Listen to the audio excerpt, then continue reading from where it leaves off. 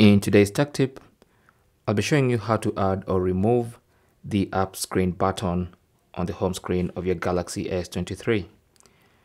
So normally on your S23, you're either directly on the home screen or you have to swipe up to see the app's screen, okay?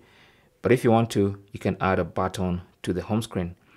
So what you want to do is go to settings. That takes you to the main settings page. When you're here, go to home screen, tap on that. And then under home screen, you should see the option to show apps screen button on the home screen. So when you enable that option, now when you go to the home screen, there's always going to be a button here to take you to the app screen where you can see all your apps. Okay.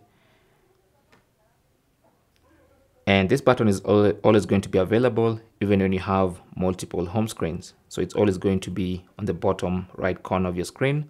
You can always tap on it from whichever home screen to open the apps screen.